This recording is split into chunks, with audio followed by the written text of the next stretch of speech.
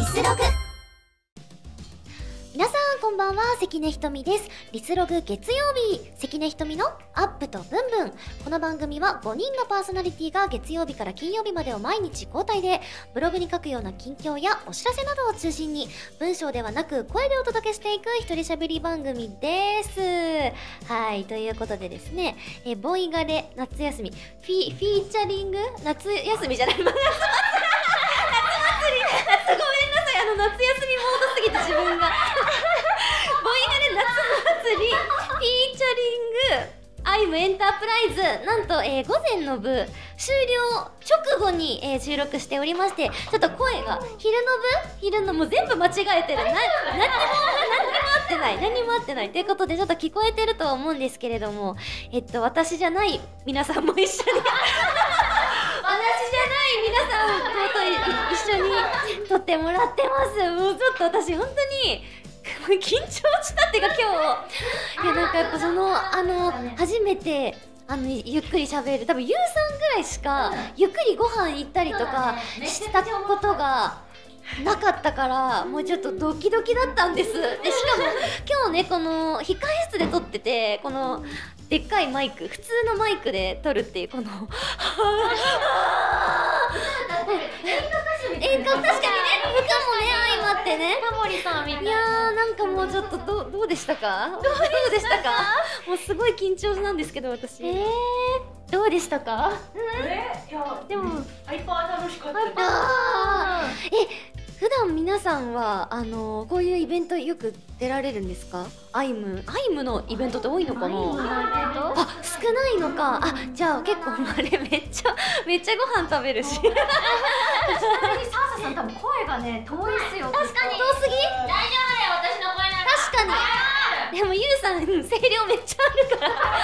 いやなんか最初私あの今日今日来た時にゆうさんと一緒に現場入りしたんですけど、ゆうさんと普通にただ控え室で喋ってただけなのにもう丸聞こえあの。ステージにいたスタッフさんに「うるさいよ」って言って。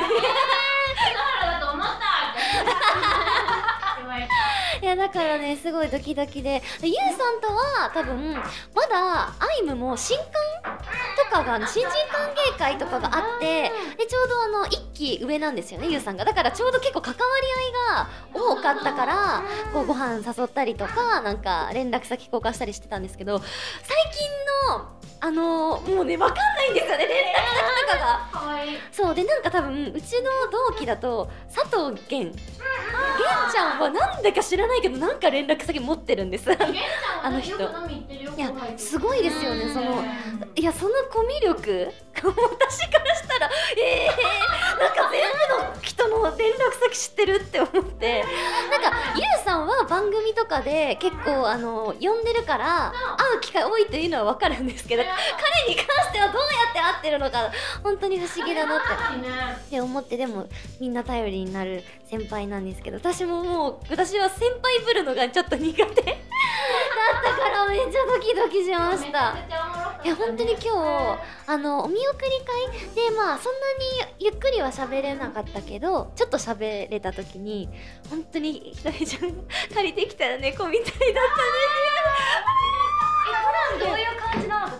ます。普段どうです？どう思います？これこの感じこの弾丸ぐらいが普通じゃないうん確かに。そうですね。あと一人の番組とかだったら確かにもっとの伸び伸び 喋っている可能性はありますね。あとなんかいろんな人が喋ってる時マイク置きがち。あー確かに。確かに。結構しまあ、委ねちゃうタイプかもしれないです。見たらさ傍観者になってたもんねなんかどっちかなんですよね。なんかめっちゃ仕切るタイプか、うん。もうみんなに任せるが結構多いから。今日はさ MC 始まりだったじゃん。そうですね。余計ね傍観してたいやめっちゃもう一緒と仕事やったぞみたいなね気持ちになったりとかしてうんすごいドキドキで私もすごい今今もう緊張してる。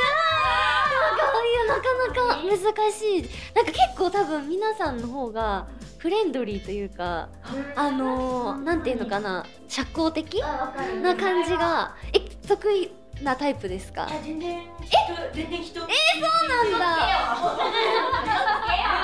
いや絶対嘘。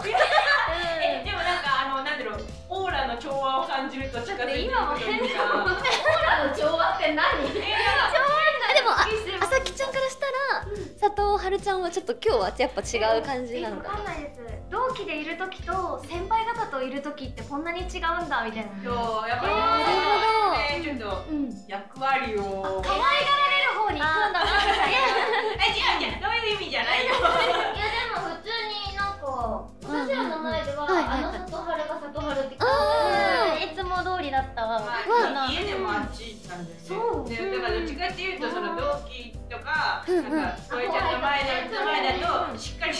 そっか逆に頑張ってちょっとお姉さんやってたみたいなところは。へえうんそんなになんかなんていうか、人見知りだからこうちょっと空気読んで話っとこうかなっていう子はうん。あんまいないと思う、いや私ある日突然仲良くなるんですよ。でもそのある日扉が開くんです勝手に自分で。そうなんかわかんないんですけど。今日え今日開きたいです。開きたらいいんだよあと同い年だったらめっちゃすぐ開きます。とか年齢も結構あるのかも。年齢近いからさ。ああみんな同い年だよねがね。すごいから。いや確かにそうです。だから私もちょっと今日はめっちゃドキドキしてきたけど逆にあのお二人とか好みんとかの方がフレンドリーだったから私はすごい助けられて いやーよかったと思って。人見みたいな子がもう一人いたら瞳は多分心を開いていやないでもなんか私だだったらできるパターンなんですよなんか。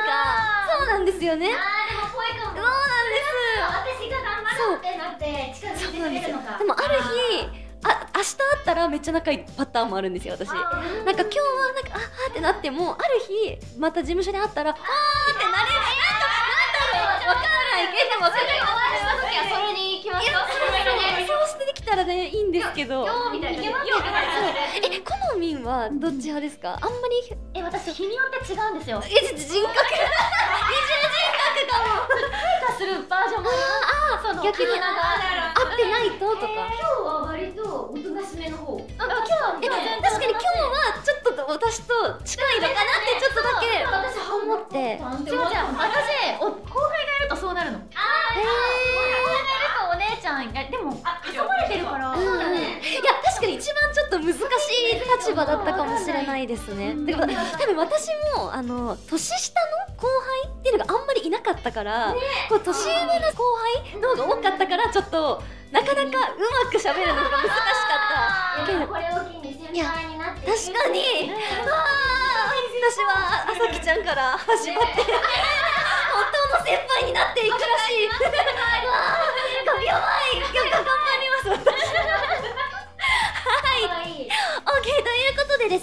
ここまでです。番組への感想は動画コメントはもちろんメールフォームを使っても送れます。皆さんからの感想ぜひお待ちしております。次回は8月26日の20時にアップされる予定です。来週も聞いてくださいね。ここまでのお相手は関根ひとみでした。じゃんけんグー。バイバーイ。